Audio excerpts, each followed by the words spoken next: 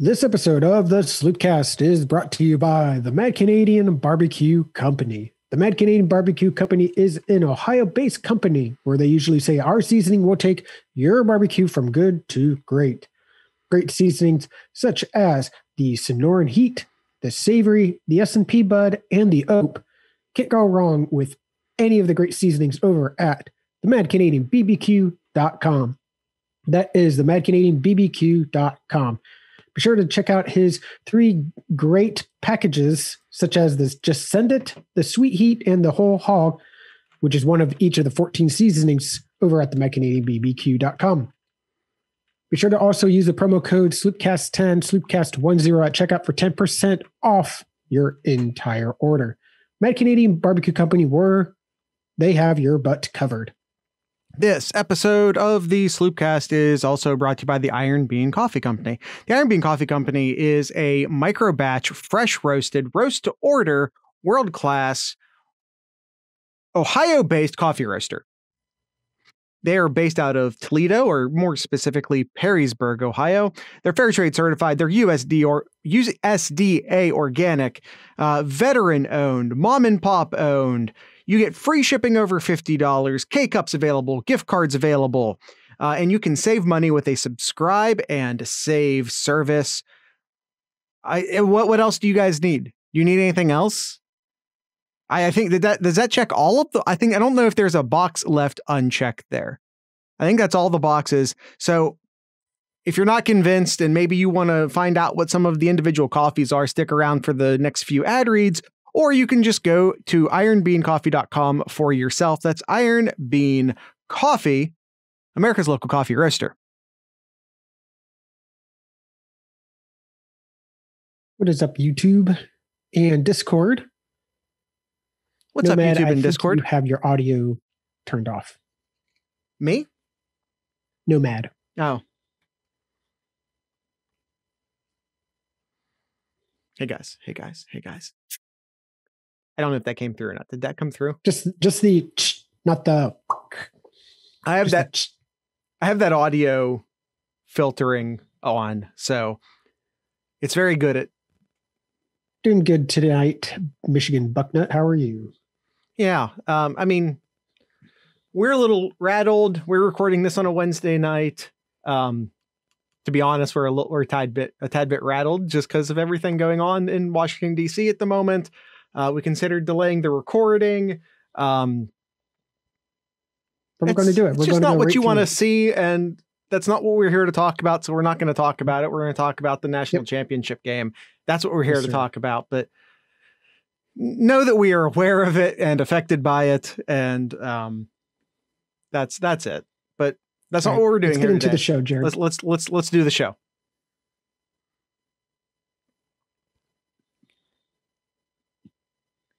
We've got barbecue back here.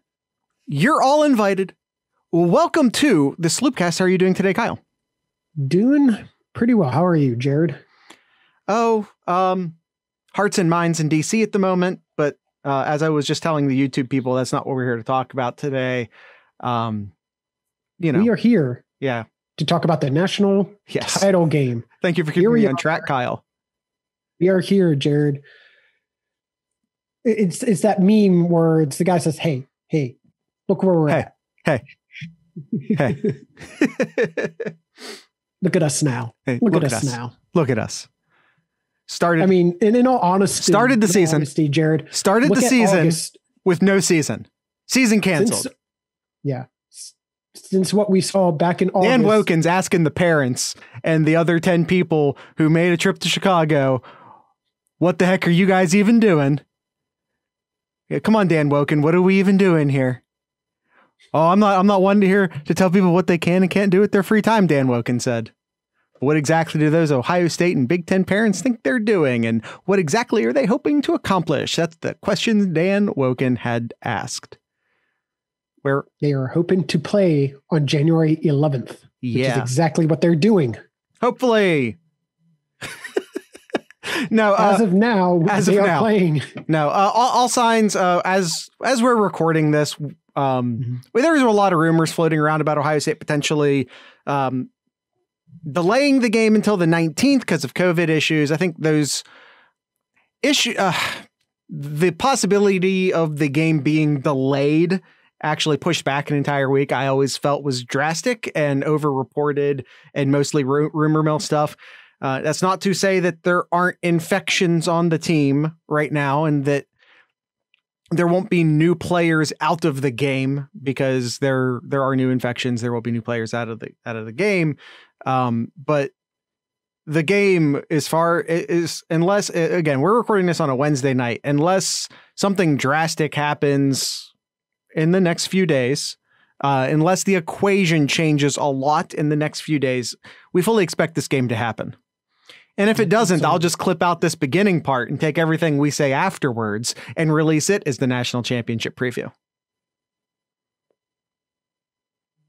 sure okay. sure I was expecting more of a reaction from you on that one Kyle Mm-hmm. Yes, Nomad. I know. I need more stuff behind me. It's it's coming. But I mean, I got I got Brutus here. Mm-hmm. I got Urban Meyer here. Mm-hmm. I got Braxton Miller. Mm-hmm. I got the 2002 national title here. Uh-huh. I got Woody here. Uh-huh. I got a signed autograph of Teddy Ginn here. Uh-huh.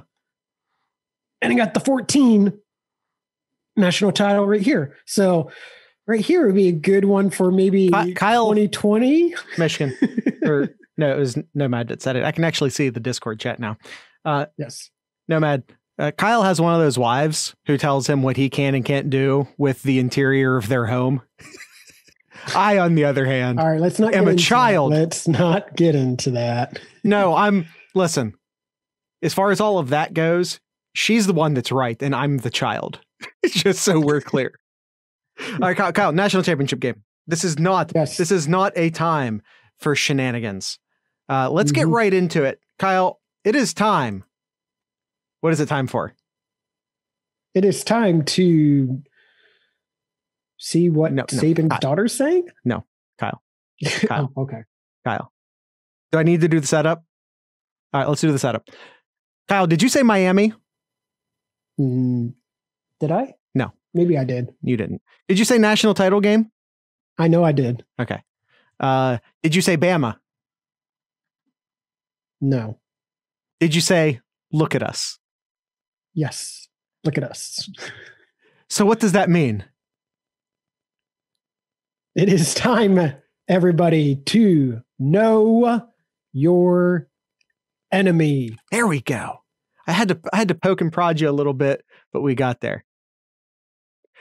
Know your enemy, the Alabama Crimson Tide. Ye freaking ha. Six years later. Six years later. They're back at it again. Here we, Alabama. Here we go. This time actually in the national title game, which is yes, fun. This time. No, no semis this time. We're back in it. Yeah, we got this is it. This is this is for the title it's I feel a lot like if we were doing if we had the podcast before the 2014 championship game. Yep. And trying to compare it then to this one, I feel a lot more confident in 2014 than this one just because of what we know with this team. With with back in 2014 with Oregon, we knew who Oregon was. We knew Ohio State with yeah. how well like momentum they had with just running all over uh, Wisconsin, just the tough, tough battle with Alabama and be like, yeah, we can do this. We can do this. But here we are, 2000 and the 2021 national title, 2020 national title here. This is this is a really tough game you got you got Heisman winner DeVonta Smith, mm-hmm. Mac Jones, who's just making all the right decisions, and Najee Harris, just a just a beast at running yeah. back there. I mean, he's he's your typical Alabama running back you we typically see. He's that bruiser. He'll just pound it right at you. Six yards, six yards a carry. Over 200 rushes this year. Over 200 carries. That's that's an Alabama running back right there for you. So here's my first question for you, Kyle. Mm-hmm. Travis Etienne or Najee Harris? Who who who do you like more? Who would you rather have on your team? Who are you more afraid of? Uh, uh, cho- cho- choose your choose your own frame. But who am I more afraid of? It's DeVonta Smith. I'm, I'm more Oh, afraid no, of was- DeVonta Smith. I was talking about Etienne versus uh, Harris, strictly running backs. Oh, I I was afraid more of um Etienne, honestly. I don't think you're right. I. I I I think I might like Etienne more if we I think project he's, him to he's the more dyna- he's more dynamic. yeah and he's I they use him a lot more in different ways than with um with Harris where he's just your typical typical Alabama running back. Like I said over 200 carries for Yeah. for this year. no that means Najee Harris has 32 catches a game, which is not nothing Not a game, not 32 catches a game. this season. Excuse me, 32 catches this season. Uh, so I mean that's nothing. That's not that's that's not small.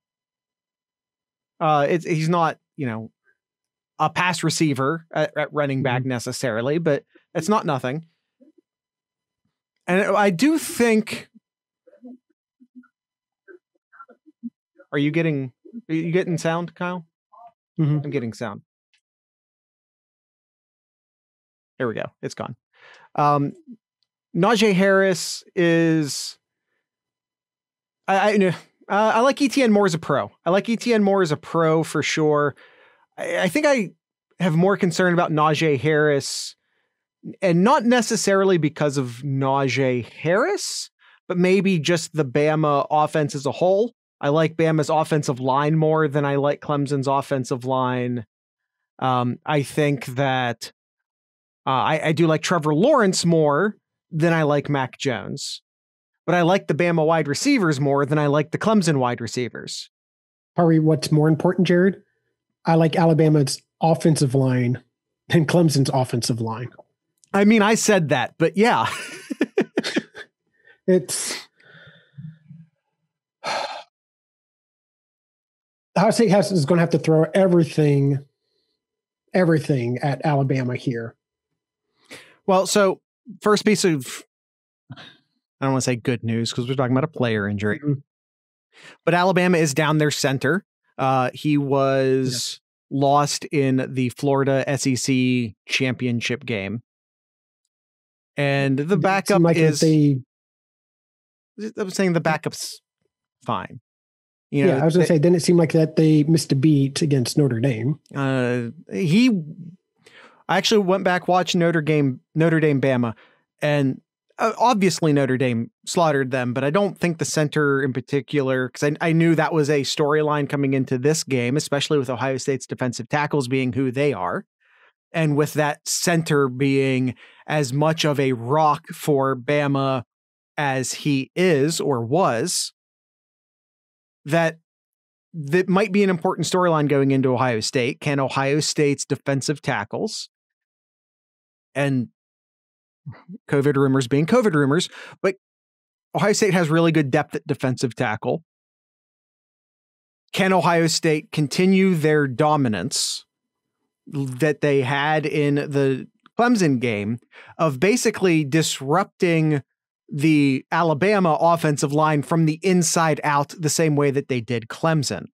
Because if you want to, you know, Mac Jones is not Trevor Lawrence in many ways, but the way he's really not Trevor Lawrence is that Mac Jones is a stable quarterback.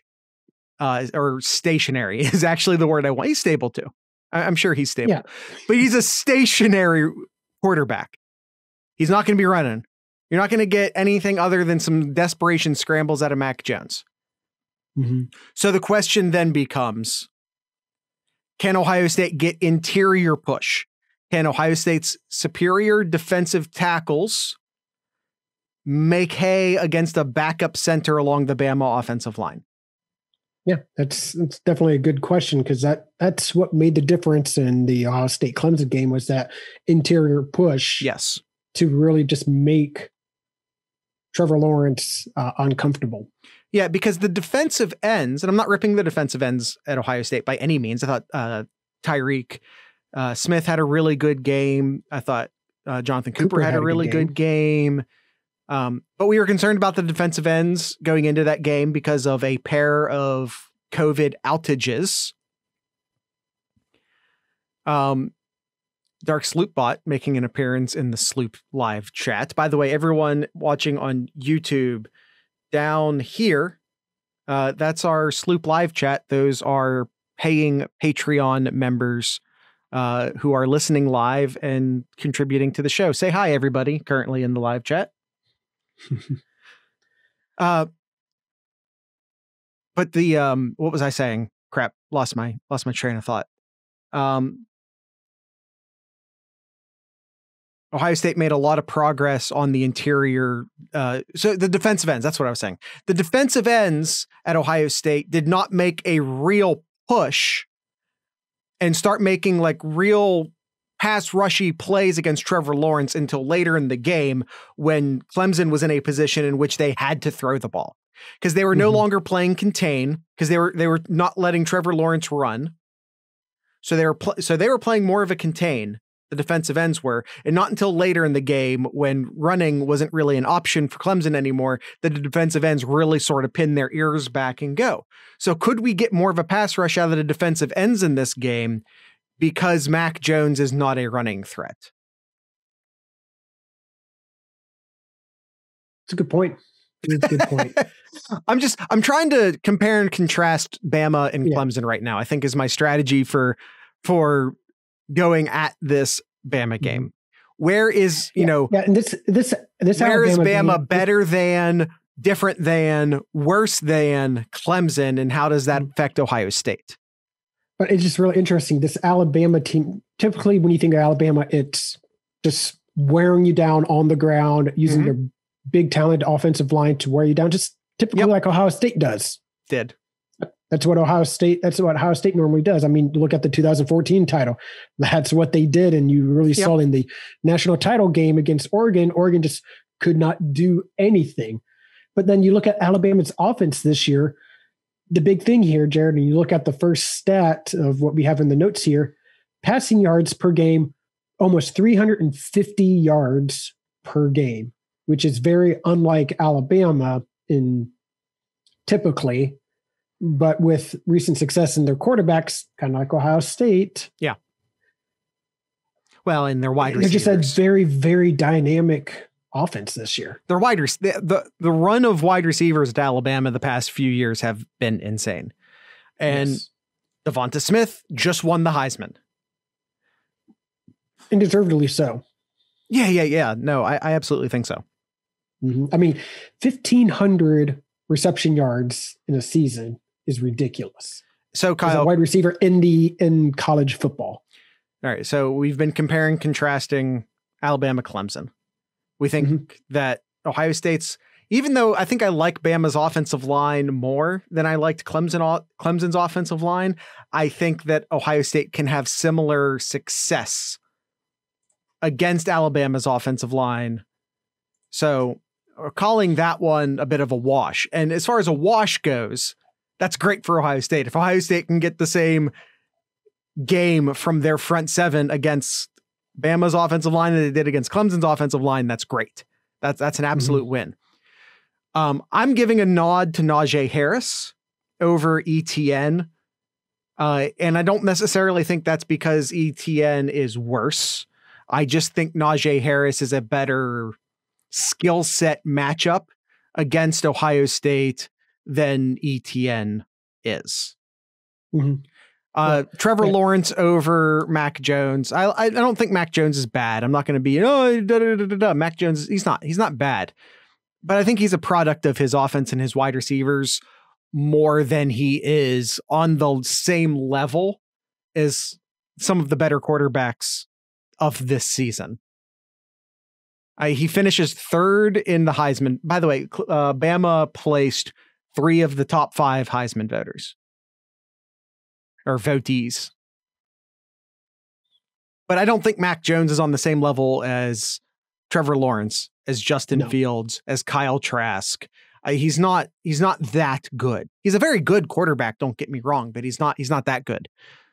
Mhm. And that being Well, I said, he's going to have success against Ohio State because I've seen Mhm. much worse quarterbacks have success against Ohio State this year. I mean, look at look at what we talked about all year was that we're going to see a lot of high scoring games here because of the limited practices and just just limitations overall because of the abnormal, abnormal of the unusual year that is 2020. And it's no different here with Alabama too. Passing defense, they're rated 79th. Not not really that good, but I mean Ohio State's not any better anyway. I'm not going to I'm not going to try to kid ourselves here that Ohio State has a better passing defense, but from Alabama. But I think that's where Ohio State can really um, succeed against this Alabama de- defense here is through the air. I think Ohio State can have success against this Bama defense, period.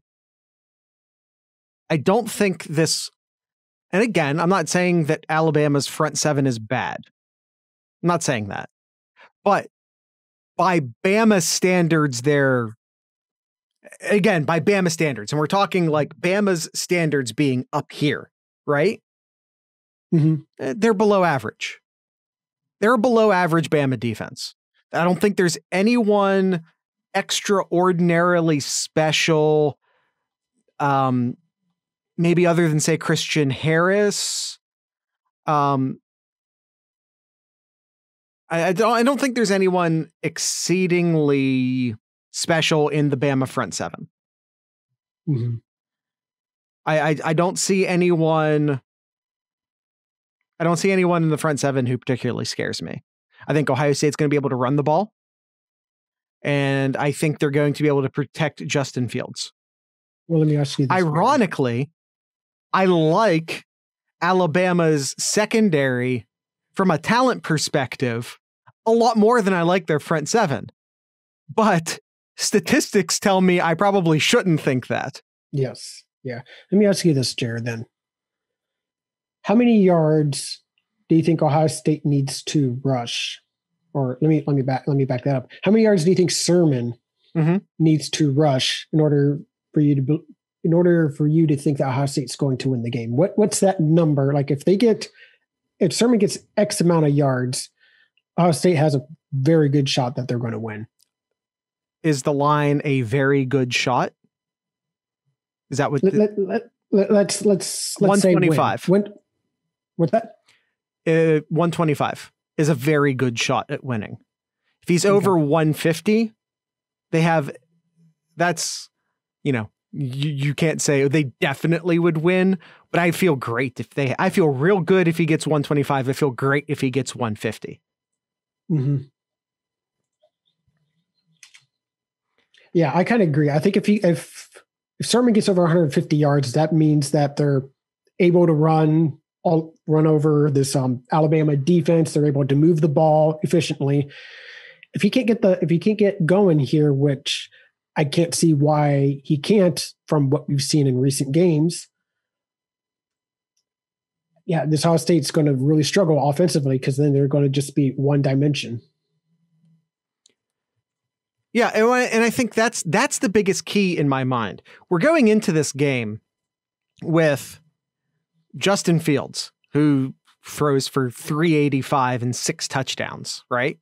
We have Mac Jones, who is third place Heisman vote getter. You know, we have Devonta Smith, Heisman winner, quarterback, quarterback, wide receiver. Chris Olave, huge storyline, wide receiver and by the way, it's modern college football. So we're always talking quarterbacks. We're talking about a game. Kyle, what's the over under currently at? 70. It was like 77. I will I will look real quick here, but it was 77. It's in the mid looked. 70s. So we're all, we're talking about a game in which, you know, both of the teams are expected to score over 30 points, at or over 30 points. So obviously we're thinking passing. We're thinking about Ohio State's pass defense, which is terrible. We're talking about Seven- Alabama's pass defense, which is terrible. So obviously we're like pass, pass, pass, pass, pass. I think, I think this game will actually be won by whichever running back has more running yards. Mm-hmm. 75 is the over under right now. It's gone down two points. Okay. So, kind of reference. So, Zeke rushed for 230 against mm-hmm. Alabama, and Ohio State won by seven. Yeah. What? Ohio State won by how many? By seven against Alabama. State won. Zeke had 230 yards, and. Ohio State won by seven points okay. against Alabama. Is that right? The final score was 42 to 35. Okay. But then in the Oregon game, Zeke had 246 in that game too. I don't know just why, but 233 just, just, sounded wrong to me. But regardless, um, the point here being that even though the quarterbacks and the wide receivers seem to be the storyline going into this game, I think the team that wins is if one team can run the ball and one team can't, and the you know a team has to become one dimensional, I think they're screwed. That's that's sort of where I'm at. And again, I think both of these teams score a bunch of points. Yeah, no, I said I agree. It, it's it's so, going to be. I think it's going to be similar to like what we saw six years ago, like a 42-35 type of game. Yeah, I think that what I said, and I said this last week, and it turned out not to be true. I acknowledge that, but I, I think this game comes down to a team having the ball with time about to run out, and someone has to make a someone has to make a play. Mm-hmm. I think that's where this goes. And I know I said it last week, and I know it turned out to be wrong, but I like Bama more than I like Clemson. And I liked Bama a lot more than I liked Ohio State until last week, where I I saw a different Ohio State team against Clemson than I saw all year. And that's the thing we kept hearing all all week so far is what we saw last weekend, the true Ohio State team. And I yeah. say yes, that is that is the team. That's the team we knew had the potential to be, and it showcased and it peaked. It's peaking right now. And this is the exact time that you want your team to peak is right at the end. So, Kyle, we said it last week. Ohio State had a decided advantage in the trenches against Clemson. That proved out to be true. Do you think that's the case this week? Does Ohio State have the advantage in the trenches? Oof, that's tough. That's that's really tough. I can't sit here and just I could be Homer and like, yeah, yes, Jared, yes, Ohio yeah. State dominate. I don't want yes. you to do that. I want you to answer me honestly. I don't think either team. I don't think either team uh, has a significant advantage over each other on the in the trenches. Both have both have. I think Ohio State's offensive galore. line is considerably better than than Alabama's defensive line the the front seven in yeah, general. Yeah, I'll take okay, Ohio State's. Yes, I'll take okay, I'll take so the yeah, Ohio State slobs over the Bama front seven. Right. Yeah. So let's break that down then. Yes, Ohio State's offensive line over Bama's defensive line. Okay. Now, vice versa. Um, I'm concerned about Ohio State's availability report. I'll just we'll say it like that and leave it there along their defensive line. Uh, and I would normally say it was either a wash or Bama had the advantage, except again for them missing their starting center, which was is a huge, huge mm-hmm. loss for them, especially considering Ohio State's strength is along the interior of the line, in my opinion. Now, that being said, even if Ohio is missing a player uh, from the defensive tackles, I think they have really, really good depth in the defensive tackles. And I'm not saying that Togiai and um, Haskell Garrett aren't the two best defensive tackles, because I do believe they're the mm-hmm. best two defensive tackles. I, I'm just saying that Ohio State has good depth in the defensive tackle area and they can recover there. I also think they have really good depth in the defensive end area and, you know, they were down two defensive ends last week. We'll see what happens with the availability report this week as far as maybe those players coming back or having new players missing. I, I think Ohio State will be okay. Mm-hmm. Now, last we have heard, we saw Justin Fields go down with an injury, but only miss one play, come back in. Uh, no matter what the daughter of any coach of any team might have to tell you, he only missed one game and he's or one play and he's fine. Um, yeah, you you pronounce Haskell Haskell, not not, not Pascal, not Pascal, not like Pedro Pascal. Um, or yeah, moving forward. um, I, I I I like I like Ohio State in the trenches this game. Mm-hmm. I guess is what I'm trying to say, and that's what has me feeling good. I feel as good. I feel better right now than I did when we were doing this as a Clemson episode last week. I feel better. I feel better about Ohio State versus Bama than I did against Ohio State versus Clemson. Um, and I I say that not because I, I like Bama more than I like Clemson. I think Bama is a better football team, but I feel better about where Ohio State's at. Is is the is the change mm-hmm. there, and I like what Ohio State can do with the with their offensive line. And you know, on top of Justin Fields uh, having some injury issues, we also saw Wyatt Davis leave the game. Uh, he did not come back in, but it was very, very late in the game. So that's obviously worth noting. Paris Johnson came in, looked great. Uh, but I, I, don't expect, I do not expect um, Wyatt Davis to miss any significant time this game. And I expect the offensive line, no matter who's in, no matter who's in, I expect the offensive line to do work. Kyle, do you want to talk I about think the... I think now I think it's a good time for an ad read. Man, we're a half hour in already. We Jesus. Flying by here, flying by. Oh, time goes by quick when you're in the chicken cooker. Let's, let's talk about the little bit about the Iron Bean Coffee Company, Jared. Yes. Uh, the Iron Bean Coffee Company. Uh, we talked about why you should buy from them. Uh, veteran-owned, Ohio-based, fresh roast to order coffee. Uh, let's talk about some of that coffee. There's the Mom's Carrot Cake. It's a carrot cake flavored coffee. The Intense Blueberry is a blueberry flavored coffee. And Kyle, do you want to guess what the mint chocolate chip is flavored like? That's right, mint and chocolate chip. Now, Kyle, do you want to guess what the unicorn is flavored like? Not unicorn. No, the unicorn. Oh, yeah, not unicorn. Not, not it's, unicorn. It's, it's, not. Okay. I get what you're took saying now. Took, took me a second. Uh, if you want to know, well, guess what everyone wants to know because you never know. You never know what's in the unicorn. It's an R&D bag. You're never quite sure what's going to be in it and that's part of the fun. Kyle, we're getting audio again. Wait, what's what's going on over there, buddy? Sorry, that's me. Whoa. Mute. Mute. Uh, that that shouldn't be that shouldn't be possible. Gonna have to revisit those security settings. That's my fault. Uh, whoever said that.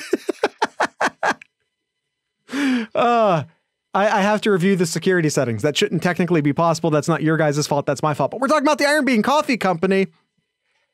Uh, the Iron Bean Coffee Company. Uh, we went through some of those flavored coffees that are available uh, then we have to talk about the Fear No Evil, which is a dark roast. It's not just a dark roast, it's a black roast. It's roasted to the brink of flames. Um, it is dark, void of all light, and the sheen of polished armor. There's the integrity, which is the mainstay iron bean coffee. Um, it, it makes a great espresso, super dark roast, fantastic coffee. And again, you can buy all of these coffees at ironbeancoffee.com. Again, that is Iron Bean Coffee, America's local coffee roaster. This episode is also brought to you by the Mad Canadian Barbecue Company. Mad Canadian is still serving up great seasonings, even with the weather, even with winter coming here and coming in quick. You can still get your um, great seasonings over at the madcanadianbbq.com. That is the madcanadianbbq.com. Uh, some of the great seasonings. Um, let's let's go with the what's over at the Sweet Heat here. The Four Horsemen, the Discord, the Two Border, and the Old Fashioned. Jared, Which of those do you like the best? Oh, sorry. What was the options again? It is the Four Horsemen, the Discord, Two Border, and the Old Fashioned.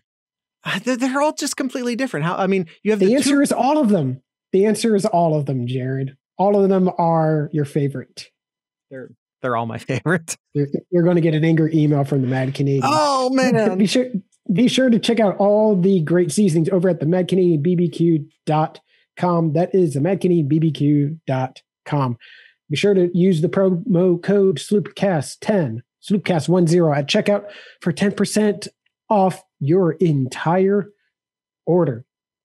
Be sure to also check out all the social medias, Twitter, Facebook of the Mad Canadian to figure out where he and his food truck are heading next. Mad Canadian Barbecue Company, where he has your butt covered. All right, Kyle, that's our ad reads. Uh, do you want to take a roll? You want to take a roll through the Alabama schedule, or maybe take a look at their defense? Where, where you want to go next? Um, oh, let's let's look at their schedule here. Let's look at their schedule. Okay. It's every every game is tough. Every Is it- game is is, a massive game because it's SEC, right? Well, that's that's what they tell us. Um, Okay. Now, here's the thing: a lot of conversation about schedules. So, Nick Saban, uh, not quite as bad as Dabo, but Nick Saban keeps Ohio State outside of his top four. Uh, why? Because they only played six games. So we're we're we're talking a lot about schedules and all that. So very important. So let, let, let's let's go through it. Powerhouse Missouri Eh, good game. Good game against Missouri. They slam Texas A&M, who Texas A&M still thinks they belonged in the playoffs, despite the fact they are wrong. Now, here, here's one of the more interesting notes on the schedule to me. Mhm. They allow Ole Miss, who is terrible. To score 48 points. 48 points scored by Ole Miss. Now, a lot A of lot. people are like, oh, Lane Kiffin, Lane Kiffin, Lane Kiffin. But I'd like to point out that they did not, Ole Miss did not continue to go on to score a bunch of points all season. It's not like Ole Miss, it's not like Lane Kiffin turned Ole Miss into an offensive juggernaut overnight. Mhm. This was not, like I said, it's not a thing we continued all year. So then they go and they play Georgia. Georgia, who still had Stetson Bennett as their quarterback at the time, puts up 24 points, but Bama rolled over them offensively. Which is, if we're going through this, that's that's the constant takeaway is that Bama scores points. Absolutely. And, and Their their we even- defense, eh, one one thing we even failed to mention, Jared, is that we is that Alabama may get their second um, wide receiver back, Jalen Waddle. That, that that's another don't believe it. addition. that's total I know. I know. Rule number one. I know. Rule number one applies here. But if let's- let's- if he were if he talk about were Waddle. to play, Let's talk about Waddle. Let's do it. Waddle uh, hasn't played in. Did he go out in the second game? First game? Game. Anyone in the chat remember? You got Michigan Bucknut typing.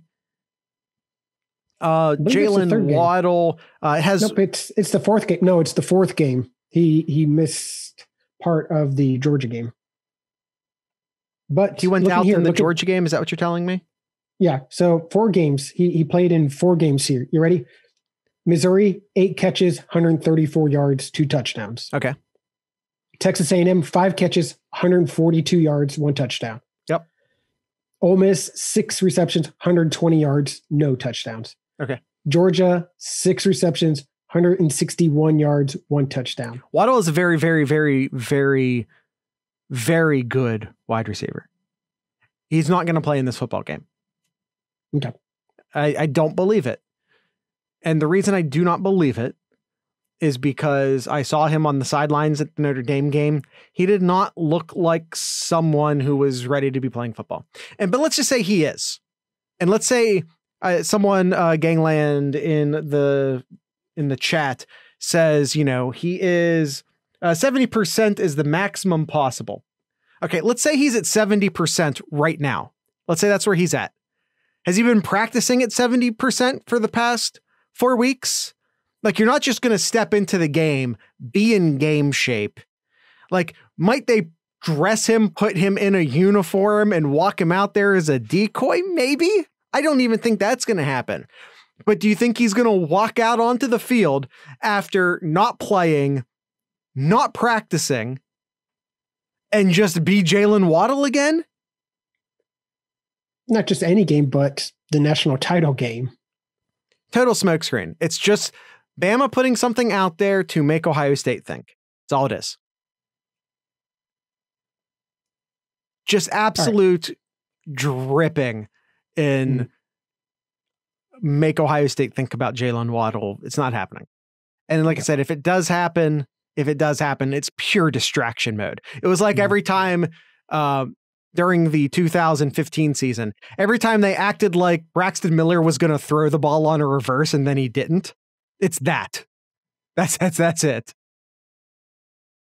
Okay. All right, moving on here. Rest of the games, Jared. Yep. They beat Georgia 41-24. Yep good good good win good win there yeah absolutely they, georgia's georgia's a talent rich team but Stetson bennett was their quarterback destroyed tennessee mississippi state and kentucky. Right. And auburn. Who was terrible LSU, this year. And lsu who was terrible this year. In arkansas. Who was terrible this year. Like there's there's not I, I'm not one to like poo poo on the SEC and be like, oh, the SEC is bad, actually. No, the SEC typically from top to bottom, I think is the most consistently talented, good conference in college football. I do believe that to be true. That being said, the SEC West was garbage this year. Who was in the SEC West other than Bama? Texas A&M? No one's believing that. No one believed Texas A&M except for Texas A&M. They should have lost their bowl game. They, they really should have uh, LSU garbage this year. Auburn mm-hmm. garbage this year. Arkansas garbage every year. Mm-hmm. Ole Miss and Mississippi fun. We got a we got a couple kooky coaches that are there in Mississippi, but it doesn't mean they're good football teams. Yep. And then I, finish up the. Se- I think the SEC East was better this year than the SEC yeah, West. With Florida here, as I was about to get into the uh, conference championship game, playing Florida there. Florida tacks on a late uh, touchdown to make it appear close. Uh, then they just dominated the Notre Dame game. That last seven point, it was really 31 7. Notre Dame just scored a touchdown at the end of the game there. Um, yes, you're right, Nomad. It's Arkansas. Get it right. It's Arkansas. No, no. Okay. No.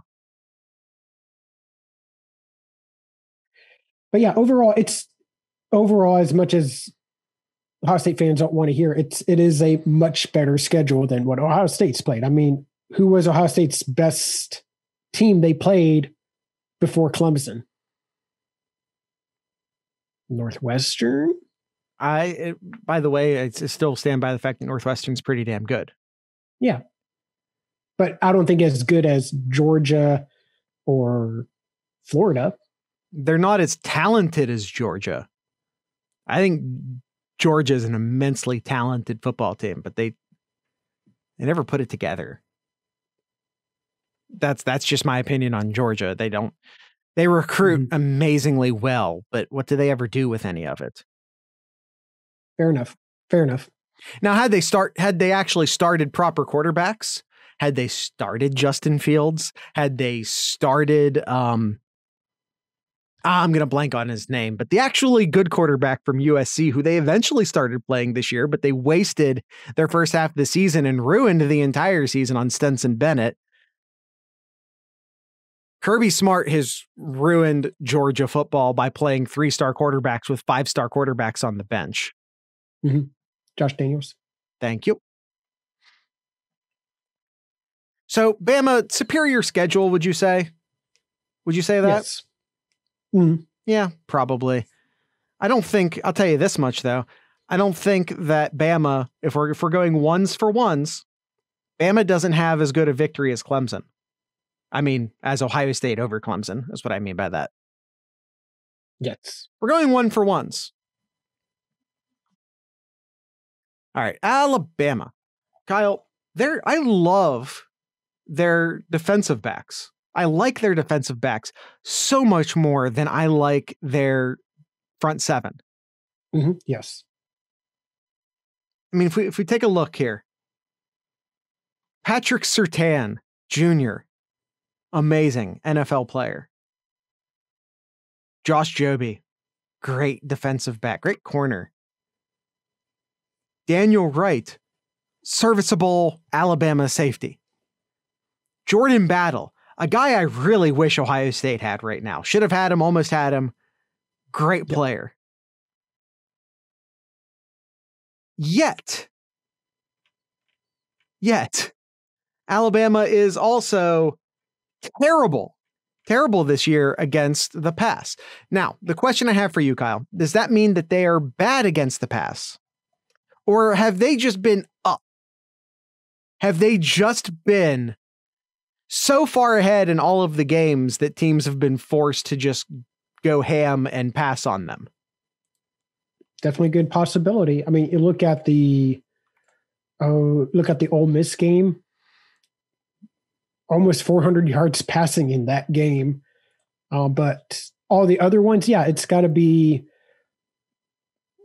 You you beat um, Tennessee by 31 points. You beat Mississippi State by 41. Kentucky by 60. Your rival by 29 points. Your other rival by almost 40 points. Yeah, they're they're going to start passing on you late and often. And even the Florida game in the SEC championship game, how many how many yards did Florida? A ton, a metric ton. I don't have it in front of metric me. ton Metric over 400 yards. Um, Trask through. How many? Okay, but let's let's let's play this fair on how many attempts because we we we played that same game on the Monday episode with Trevor Lawrence. 40 attempts. I'm okay with 40 yards from a talented quarterback, which Kyle Trask is. I'm okay with 400 yards if it takes him 40 attempts to do it. Yep. Uh, let's see. Points per game, Kyle. Points per game. Ohio State 43 and a half, Alabama 48. Mhm. Points allowed per game, Ohio State 21, Bama 19 and a half.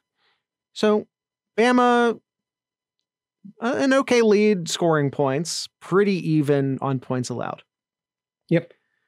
Total yards, Ohio State five, I'm gonna round that up to 545. Mhm. Bama 535. Call that a tie. Pretty darn close. 10, 10 yards in the grand scheme of things is nothing. Mhm. Yards passing. Ohio State 272. Bama 350. Advantage Bama. Rushing yards per game. Ohio State 272. Probably should round that up to 273, but I, I just enjoy having 272 twice. Alabama 186. Ohio State. Significant difference there. Advantage Ohio State. Allowed. Yards allowed. Mhm. Uh, I'm going to speed through this a little bit more. Basically, even on yards allowed in total. Passing yards allowed. Ohio State 263. Alabama 234. Slight advantage, Bama. We'll give Bama the slight advantage there. Rushing yards allowed. Ohio State 98, excuse me, 97. Bama 108. Slight advantage, Ohio State. What is all of what are the, all of this I'm trying to say? It all looks kind of even to me. I think both teams have troubled secondaries despite having talent. I think both teams by the standards that they set with their own depth of talent at the university. So I'm not saying that these that they're bad, but I'm just saying by Ohio State and Bama standards, both of these teams have average front sevens. There's no Chase Young in this game. There's no Darron Lee in this game.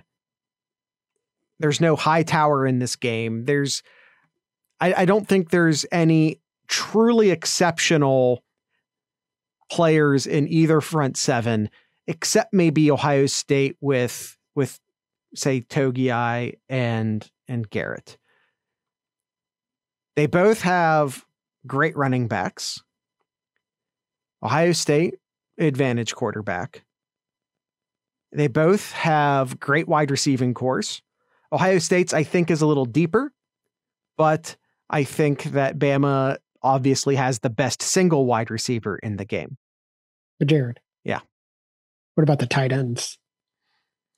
What about the tight ends? Year of the tight end, baby. It's the year of the tight end, and I don't know. Do what do you think, Kyle? Is uh, is it is his advantage Ohio State in the tight end area? Because spoiler alert, it is. Ohio State wins. Year of the tight end. That's the tiebreaker, right? that is. That's the tiebreaker. That's the difference. There is the tight end. All right, Kyle. Let's get into some Ask Sloopcast questions. On sure, that note. yes. All right. Uh, going down here. Um, a couple of these were from the previous episode that we didn't get to, but they was more related to Alabama here. So sure. I'll read some from previous ones. So, all right. Uh, first, we have Nomad. Nomad asks, "Hey Jared, can we get a fuck you, Dabo?" You sure this isn't from last week? Nope, it's from this week. Okay, hold on. I have a new feature I'm gonna play with real quick. Oh no, Jared's breaking stuff. Fuck you, Dabo. All right, in Gangland. Kyle, Kyle, you you do it. You do it. You you have to do it now. Fuck you, Dabo. Okay. Okay. All right. Um, do you have any idea what I just did? No. Okay. Well, uh, I tell you this much. I I think the uh, Sloop Cats liked it.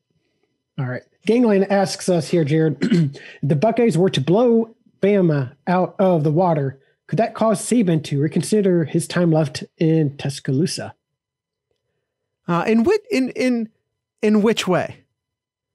Is does it motivate him to come back and fix things to not go out on a sour note, or does he say, "Ah, screw it. I'm gonna I'm gonna let I'm gonna let the new guy." Ryan Day's the new guy. He's he's he's the next generation guy. I'm just gonna let him have the crown. In which direction are we talking? Well, well, especially with his offensive coordinator not being there next year either. Well, he he's used to that. Mm-hmm. Saban recycles well, I'm, I'm, I'm offensive just, coordinators. Saying, I'm just saying, I don't think he changes. Gonna... Nick Saban changes his offensive coordinators more often than I change my sheets. Ew. um, no, I'm I'm just saying that because I'm leaving, it makes me think that that I don't think what happens in this game here. He's he's coming back. Yeah, yeah. This is not yeah. this is not our last our yeah. last look at Saban. All right. Um Michigan Bucknut. Three part question he says here. Um did Jameson Williamson solidify himself as a second deep threat during the during the uh, Clemson game? So uh, we, do, could, we, could, we, see Jam- more of Jameson Williams in this game. My my thought on Jameson Williams is that had we had a normal offseason, we would have more Jameson Williams. Mm-hmm. I, I think a younger guy maybe didn't quite they didn't quite get him rolled into the offense and they didn't have the cupcake games and they didn't have just like games and uh, enough games in general. I think we would have seen Jameson Williams is one of those guys that had this been a normal 10 game season, we would have seen him come along in like games eight, nine, 10. Uh, so maybe, but I tell you what, they put it on film. And I think that's the most important thing. The most important thing is that they established Jameson Williams as a deep threat on film. So that's now something Bama has to be aware of. And mm-hmm. I think mm-hmm. that, that's the most important thing. And I do expect a lot of people to be transferring out of the Ohio State wide receiver room this offseason. And I do not expect Jameson Williams to be one of those guys. Okay. Uh, let's see. He also asks here the uh, uh, will having two deep threats be too much for Alabama secondary or help open up the run game? Uh, I mean, either or. Really, Why not? I really think just even having Garrett out there too. You have Garrett and Olave out there's enough pressure on the defensive backs to really open it up. But okay, so let's let's talk about opening things opening things up on on defense. Typically when you talk about like opening we talk about like moving the safeties back. Oh, deep Mhm. threats, safeties have to move back. Safeties have to move back. The safeties can't be involved in the running game as much. But that's not that's not the only way you open things up. You know how else you open things up? You make the linebackers look twice at the tight ends. You make the linebackers go out to the flats, maybe not backwards, but maybe out to the flats with the tight ends. Another thing Ohio State has done to open up their running game and continue to open up this running game potentially into the national title game is by making Alabama respect the passing threat that is the tight ends. Yes, Nomad, year of the tight end. Mhm. It's official. It's been foretold for centuries at Ohio State. Not since not since we saw Ricky Dudley have we seen a year of the tight end at Ohio State. It's a thing of legend. It's a thing that's been foretold, Yes. but we've yet to see it. It's been a very long winter. But summer is coming. All right, Austin formation. Couple of questions here from him. What did Clemson do well that Bama will try to replicate? And what did Ohio State do well that what did Ohio State do well and what will Bama possibly try schematically to stop it? Or is it just players on players? Okay, as I'm sorry, I I'm not saying the question. I'm not saying anything bad about the question. I'm just saying I didn't follow that. Can you say that again for me? What did what did Clemson do well that Alabama will try to replicate? Okay. What did Ba- uh what did Clemson I I don't know if schematically uh, let me just say let me say this plainly and I'm sorry Ohio State. Nothing. Because you don't need to schematically fool Ohio State. The secondary isn't good enough. Mhm. Y- your wide receivers are going to get open against Ohio State's secondary. That's it. And Yeah. and you know what? I'm actually kind of cool with that because I'm actually kind of cool with that because that's always been the case. Indiana passed well against Ohio State, Northwestern, hell, even Michigan State passed well against Ohio State. Like it's just it's just a thing. It's just it's a given. Mhm. So like, hey, Alabama has a really good quarterback and really good wide receivers, and they're going to pass well against Ohio State. So has everybody else. It's fine. Except except Michigan State. Uh, when Michigan State's backup quarterback came in, he was getting he was getting Yeah, numbers against yeah. Ohio State. Yeah. So like whatever. It's just kind of whatever. Again, like with Clemson, bend but don't break. Pull back. Don't Yep. let anything go. Keep your linebackers up. uh, you- you- you Stop have- the you have run. Let Bama get those 10 yard passes. It's fine. Play a deep, play a deep quarters. Everything will be fine. I mean, you you have to here because I mean, look how accurate. I Just mean, how prevent the big ridiculously accurate Mac Jones has been all season. He is a he's thrown seventy seven percent all year, seventy seven percent, which is ridiculous. Yeah. he is just on target. Like against Notre Dame, only five incomplete passes. Against um, let's see here against LSU, he was twenty for twenty eight. Here, he was thirty three for forty three against Florida. Um, his worst game was 66% passing.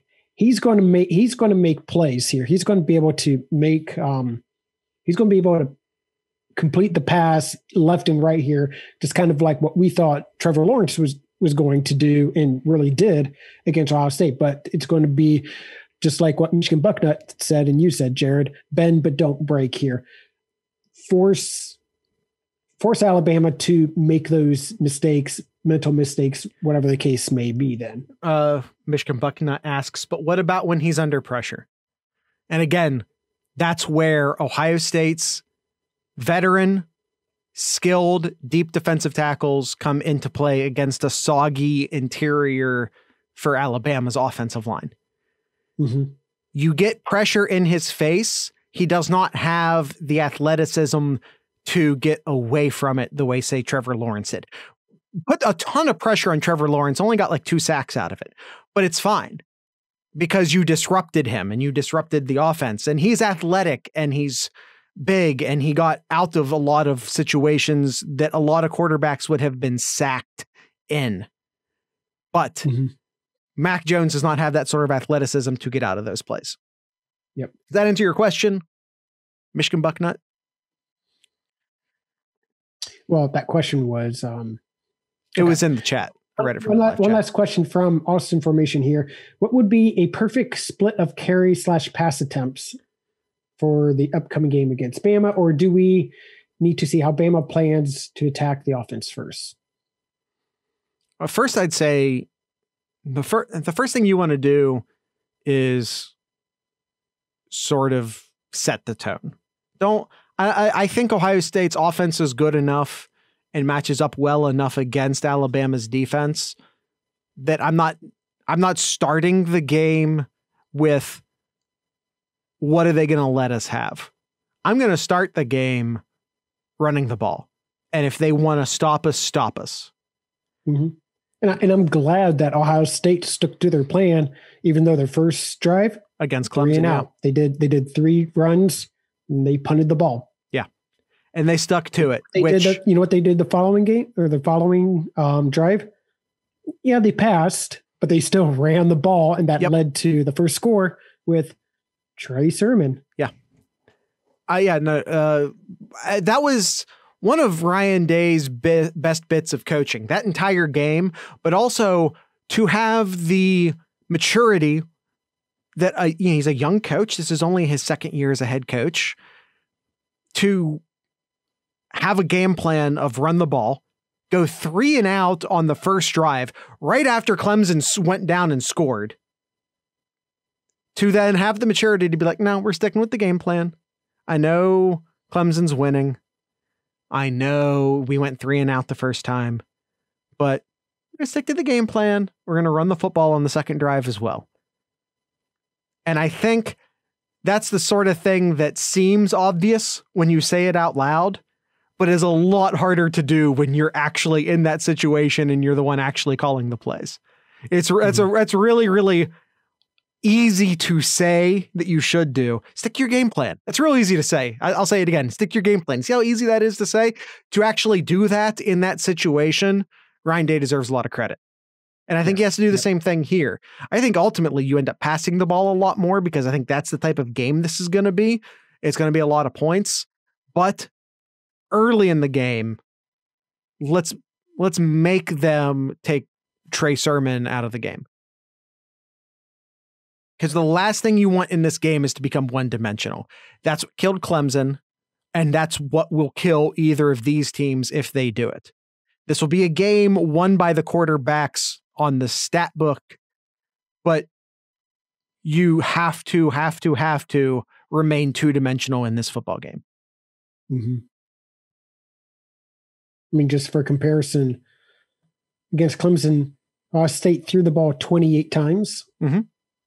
rushed it 44 times. Well, I, skewed because of the fact that they were up. So yes. you get into the fourth quarter and they're primarily just running. So you, you always have to sort of. I wonder what that. I, I don't suppose, and if you can't, if you can't get it in ten seconds, don't worry about it. What would that? What did that breakdown look like in the first half? Yeah, and again, I'm not asking you to actually find that, but I'm just I'm curious what that would be. You, you know Mhm. what I mean? Because it, it's so because Ohio State won that game a third, two thirds of the way through the third quarter, and you know we're in clock run out mode. Yeah. Any more questions, Kyle? No, that is all the questions. So that brings us to the ultimate question, Jared. Yeah. Ohio State, Alabama. Yeah. It's Before you before you do the final score, because I think is that what you're about to ask, Kyle?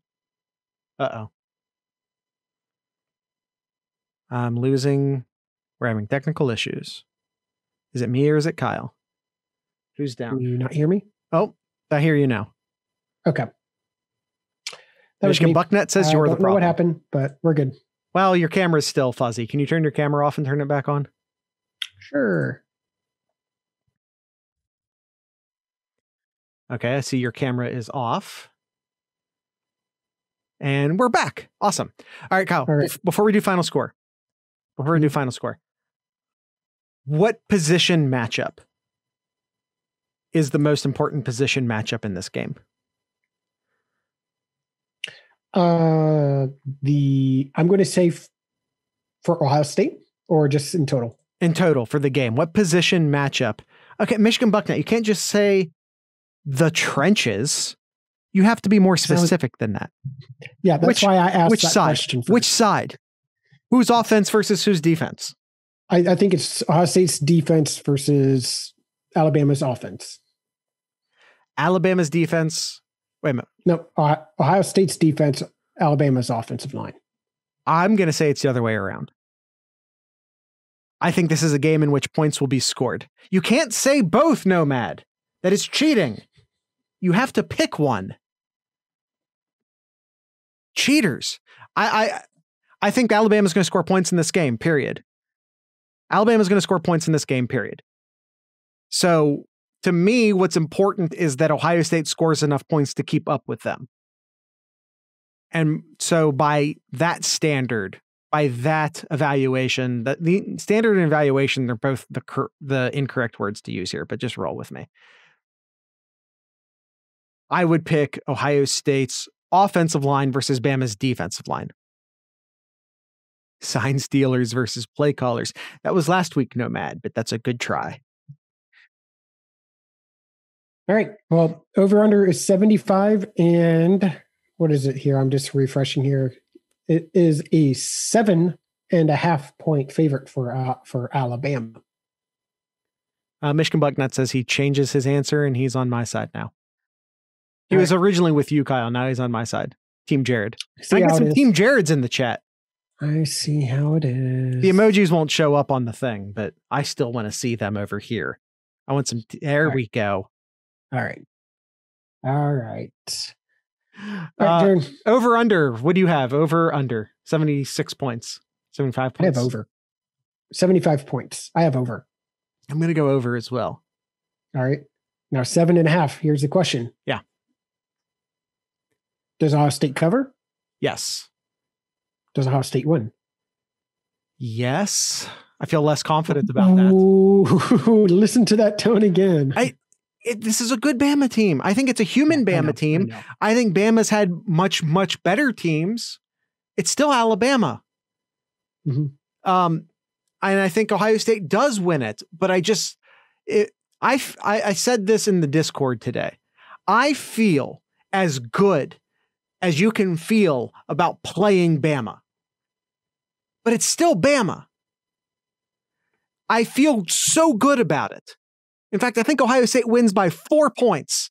Four points, which is a win. and when it comes to beating, I mean, Kyle, how many national titles has Bama won in the past Won or claimed? in the past 10 years? You let me finish my sentence. In the playoff, oh, no, not the playoff era, but like in the in since Saban's come to town. Five? five, four, five, five. I think five.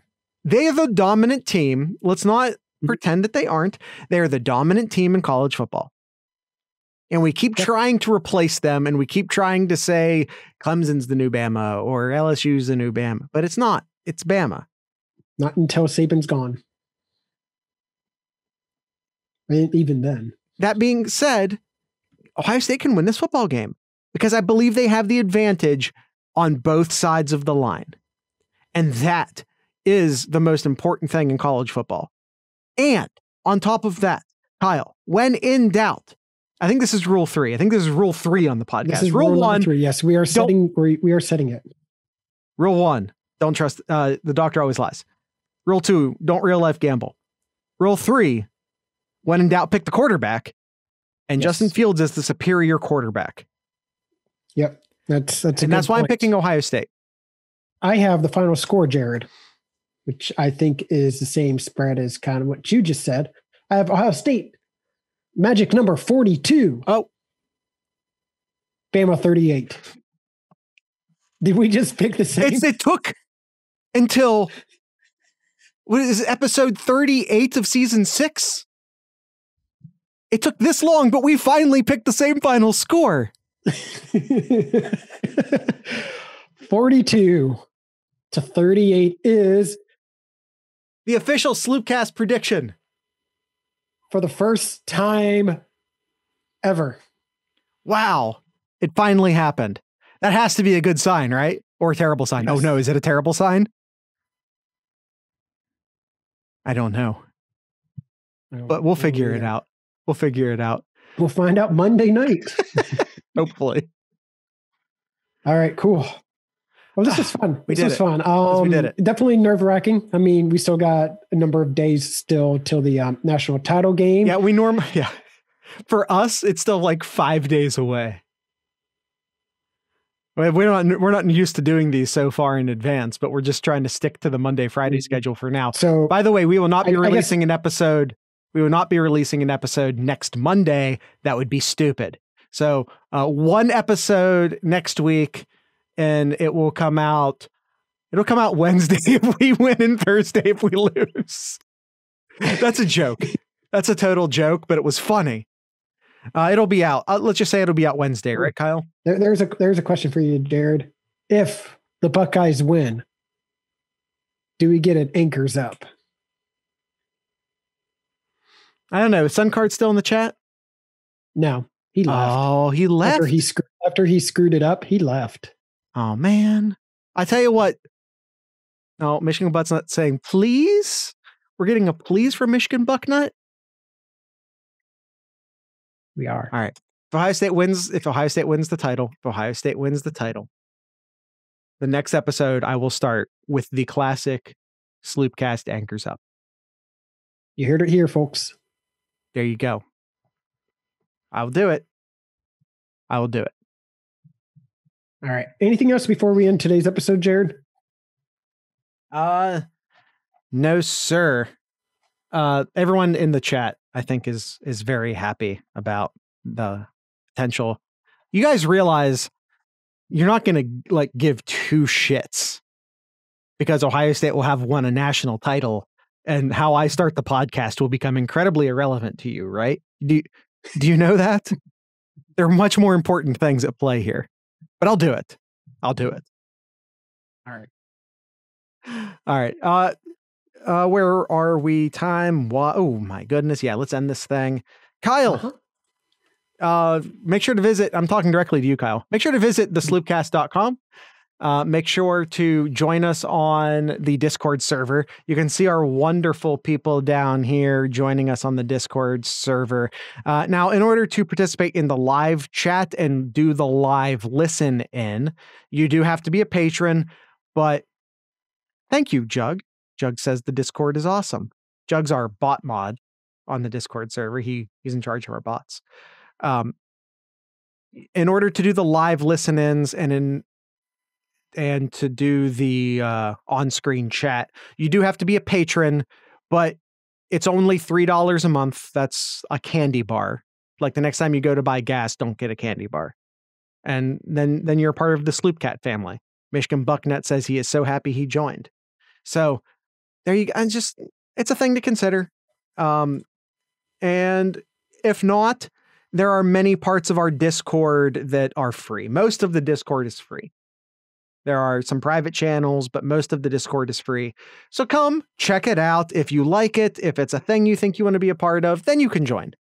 And then you can sort of get into the premium channels, including all of this stuff.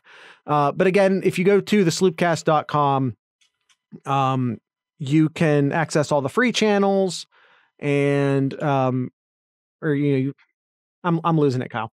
You know what? Screw it. End the episode. Go to sloopcast.com. There's merch, there's social media pages, there's the Discord, there's the Patreon, uh, there's all that crap. That's it. I I'm I'm done talking. Kyle, what's in Kyle's corner? Um, well, to kind of get us through until uh, Monday night's uh, game, you can check out Ohio State basketball this Saturday at noon, tentatively, uh, against Rutgers. Again, Saturday at noon, Ohio State taking on Rutgers. There you go. Uh, the you know we hadn't had a chance to talk basketball much, but the Penn State game was was canceled um, or postponed. I don't know. I don't know the difference anymore. Who knows? Twenty twenty. Who knows? Um, but yeah, that's is that it for Kyle's corner? That's it. We're we're really long here, so let's go ahead and end the show. Okay. Tonight's ending music is by Mistar Anderson. Uh, they're a uh, Columbus based hip hop group, so be sure to check them out. There will be links down in the show notes for all of that. Um, Nomad, one of our mods, uh, lets us know that 2020 is over. We're in 2021 now. Kyle, I changed my mind. It's Ohio State 152 to 38 because it's 2021 now, and it is the year of the tight end. And Ditka. All right. Four No, no, touchdowns for each no, no. Go back to the original prediction. Go back to the. I can't. I can't have us not have the same prediction. It finally happened. Damn it! All right, uh, Ohio State, Bama, national title. Let's do this. But for right now, we're going to end the show with Mistar Anderson. Uh, please be sure, like I said, to check out all the show notes uh, for information on them. Um, if you if you're a new listener to this, the actual we always talk about the music being played. The music is played on the actual podcast, but YouTube's YouTube. So instead of music, um, we're just going to have a, a brief conversation with our, our YouTube people instead. Uh, that is normally pretty worthless, but it's it's still special. So what are you going to do? So with all that being said, I'd like to encourage everyone to drink local beer, listen to local music, and of course support your local podcasters. Once again, this is Mistar Anderson.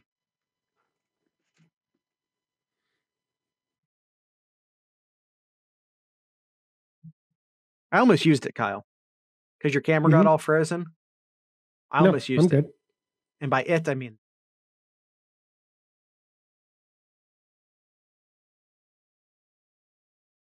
But I did get to use this. I'm pretty happy about that. Mhm. And I did get to use this. And I'm pretty happy about that. Nice. I got I got I got the new computer set up and I'm still I'm just just starting to learn all of the fun stuff OBS can do. That's how we got the live chat down here. Uh, that's that's thanks to OBS. It's the software I use to do all of the Yeah. It's the stuff I use to do all the stuff. It's it's basically what all the Twitch people use.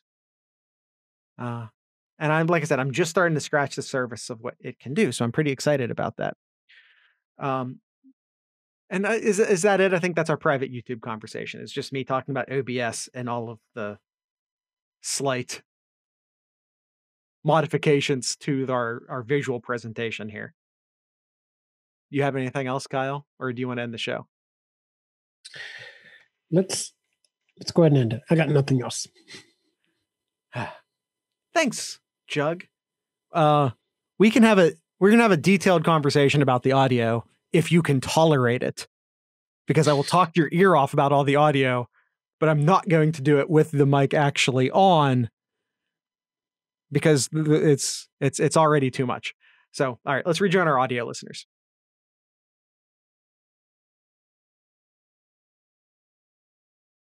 Once again, would like to thank Mistar Anderson for ending today's show, and I'd like to thank the Iron Bean Coffee Company, who the Iron Bean Coffee Company, for sponsoring today's show. The Iron Bean Coffee Company is a world-class hand-roasted micro batch coffee roaster headquartered out of Perrysburg, Ohio, which is just outside of Toledo. All of their beans are fair trade certified, USDA organic. Integrity is what they do. Marine owned, mom and pop owned. K-Cups available, gift cards available, free shipping over $50 available. And if you find that one coffee, you find that one coffee that is your coffee, you can save money with a subscribe and save service.